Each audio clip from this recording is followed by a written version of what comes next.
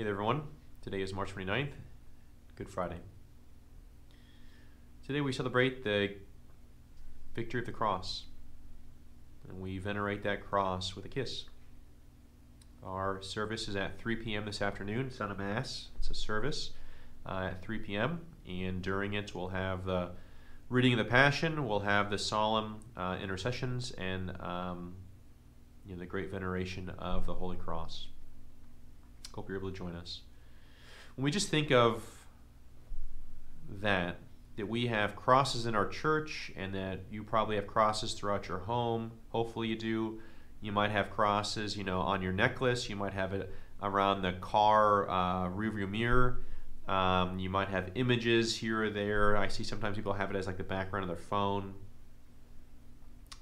If we think of like what the first century people would have thought of that, they would have thought that was kind of odd you know, this instrument of death, this torture device we just have hanging around. But we know it's because of that instrument of death, that torture device, that sanctifying grace became available to all of us for all time. And each of us have crosses to bear still today. And through those crosses, we have the opportunity to receive grace. Right? How I endure that cross can relieve can, can give me some grace to keep striving, right? To grow in holiness, to renounce sin in my life, to acknowledge my own faults. Am I using my crosses for that?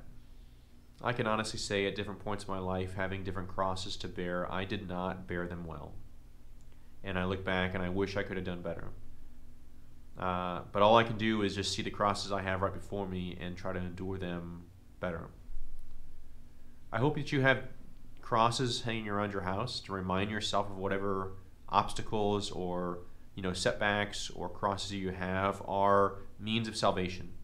I hope that you have them uh, hanging around your rearview mirror in your car, on your phone, you know, stickers on your computer or whatever.